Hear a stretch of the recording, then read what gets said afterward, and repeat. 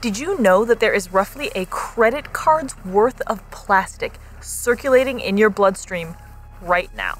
That's because up until 1989, it was completely legal to dump plastics directly into the ocean. And those plastics are still in our oceans.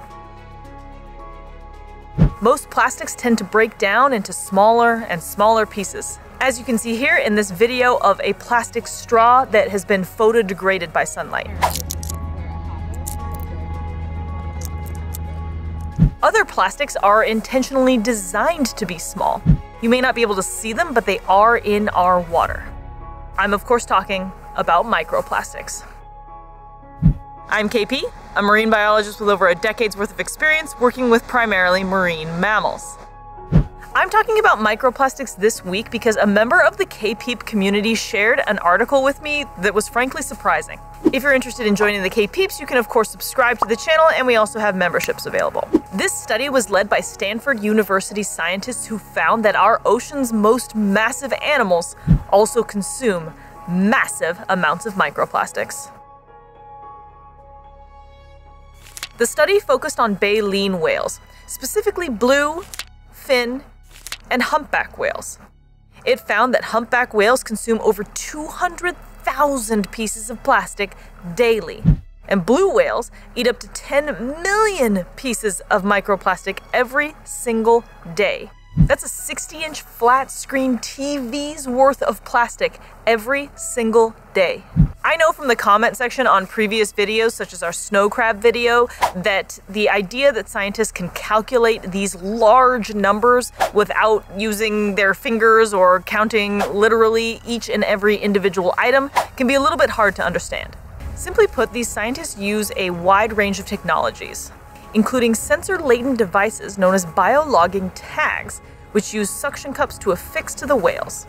These tags, which I talk about in a video right up here, collect very accurate physiological data about the whales. So we know for a fact that these whales are consuming enormous amounts of plastic, but how and why? And furthermore, how are these plastics ending up in humans, like you and me? There are many types of microplastics from bottles, food packaging, and plastic bags that have broken into smaller pieces, like the straw we talked about in the beginning of the video.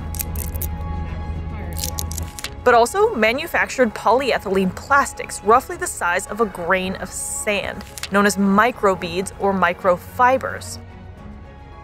Microbeads are typically added to health and beauty products like exfoliating skin products or even toothpaste. Microfibers are tiny strands of plastic like polyester and nylon that are woven into fabric used to make clothing. These synthetic fabrics are cheap, comfortable, and very popular. Every time these synthetic clothes are washed, thousands of microfibers are shed by a single synthetic garment, according to a study by the clothing brand Patagonia.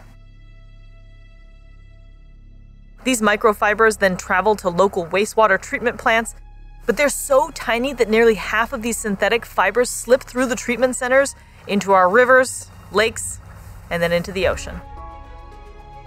Once they are in the water system, these tiny microplastics are consumed by the world's tiniest creatures.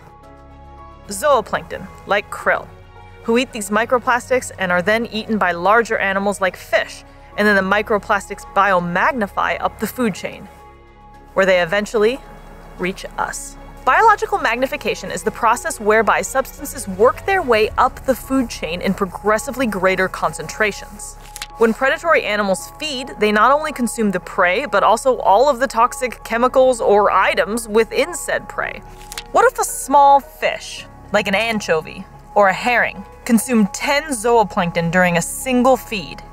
If a zooplankton ate, per se, one microplastic, and of course the actual number is probably much higher, then that anchovy now has 10 pieces of plastic in their system. What if bigger fish like salmon and tuna then consume 10 anchovies? The salmon now have 100 pieces of plastic in their system. This process magnifies all the way up the food chain to animals like eagles, orcas, and humans, where concentrations of these microplastics can reach dangerous levels.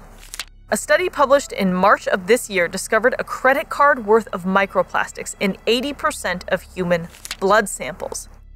If these plastics are in our blood, that means they are circulating through our entire body, potentially even in our brains. Making things even worse, corroborating studies also found large levels of microplastics in human placentas as well as breast milk. The scary thing is, we don't actually know what effect this has on us. We do, however, have an idea of what this means for animals like orcas, who, like us, are at the top of the food chain.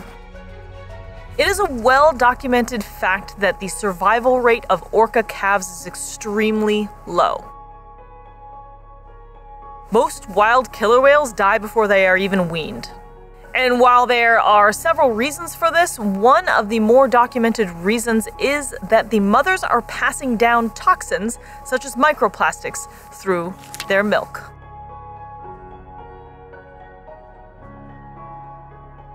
I've talked a bit about the struggles facing the southern resident killer whales, and you can find that video right up here.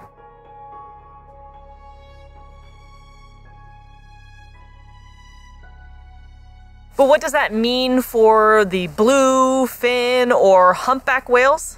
Well, the same as with humans right now, we're not really sure. According to the researcher who led the study, we imagine that it will have some sort of impact, but we don't know the exact health effects. This is the first step to figuring that out.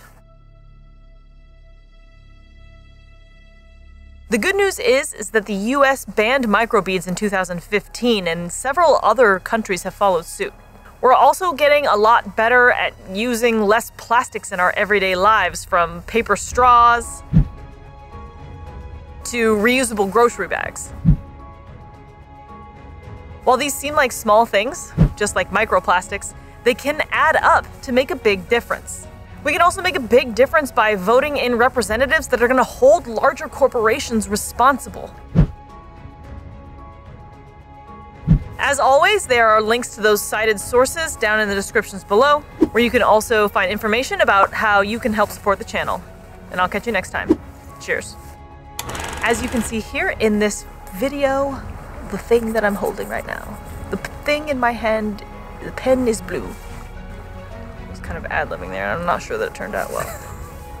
That's a 60-inch flat screen TV worth of plastic. Uh, that's daily. I know from the comment section, section, section that are woven into fabric, fabric, fabric. That's the that's how the French say it.